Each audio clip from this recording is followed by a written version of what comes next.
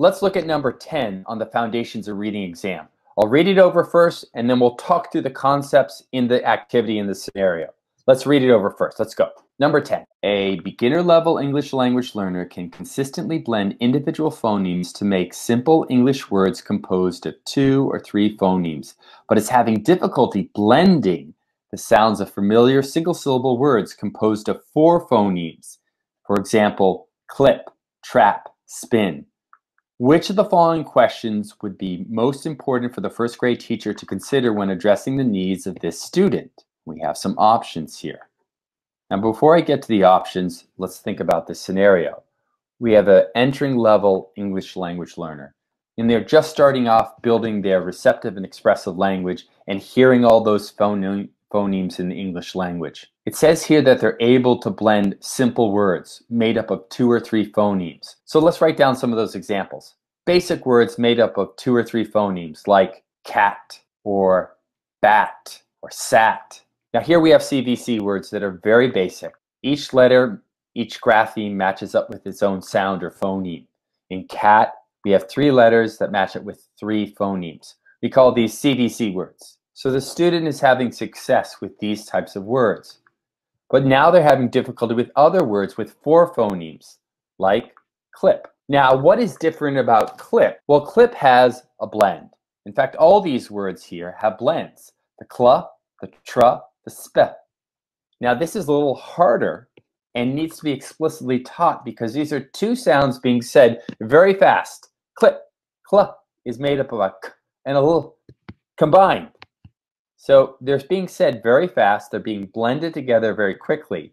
And for a, a new English language learner, those sounds, those, those blended sounds might not be in language one. This would be something that we'd want to make sure that we clarify first before we assess the student. We'd want to make sure that they're aware of these new sound patterns before assessing them in an activity. So now let's go back to the question. It says, which of the following questions would be most important for the first grade teacher to consider when addressing the needs of the student? A. Are the target words in the student's oral vocabulary in English? B. Does the student's primary language have consonant blends? C. Can the student distinguish between short and long vowel sounds in English? D. Does the target words have cognates in the student's primary language? There's a lot going on here. Let's start with B first. Now, B, B is the answer, but let's look at it a little closer. Does the student's primary language, language one, have these consonant blends? Does it have this these specific sounds in language one? Because if it doesn't, then it would make absolute sense that the student is struggling with it. Does that make sense? If this doesn't, if the student doesn't have these consonant blends, these sounds, the cla, the tra, the sp, then it makes sense that if these sounds are missing in language one, the student's going to have a hard time applying them in language two. If we know that there are gaps in sounds from language one to language two, we can clarify those gaps and, and teach those sounds that will help that student pronounce words in language two that are made up of sounds unfamiliar to them. Let's look at A. It talks about the target words here, like clip, trap, spin, not being the student's oral vocabulary. Well, here's the thing with A. It says here that the student is consistently having difficulty pronouncing these words. So they haven't mastered these words yet, so they're not quite in their oral language. They might partially be there, but they're still struggling with it. So it's it's not that they haven't been exposed to it. They've been exposed to it, but they still aren't getting the correct pronunciation of the words because they haven't mastered the consonant blends yet. Is it C? Can the student distinguish between short and long vowel sounds. Well, all these words right here are all short vowel sound, and they're talking about basic words. Words like clip, trap, spin, they're all basic short vowel sounds. So right now, we're not dealing with any words in the case study that have to do with long vowel. So for that reason, we could cross that out. How about D? Do the target words have cognates? Let me circle that, cognates. Now, what is a cognate?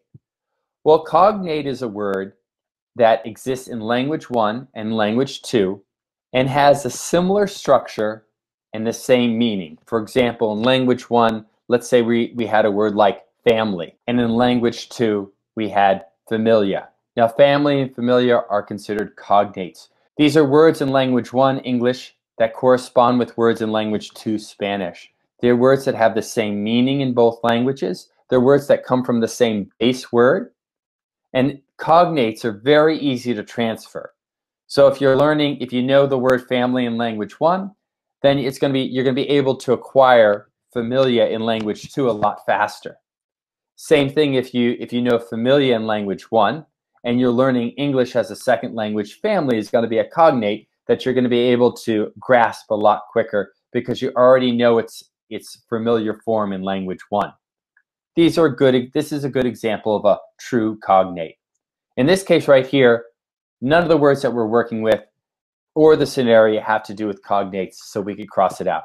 So for this student right here, it's very appropriate to clarify explicitly English consonant blends. This would be the next step for that entering level student in their oral language development. It's a great problem. Let's continue. Hi team, this is Chris Abraham from GOHacademy. If you like this video, press the like button below or subscribe to our channel.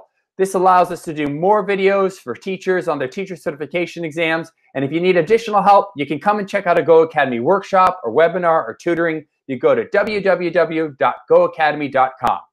Have a great day, everyone. Bye-bye.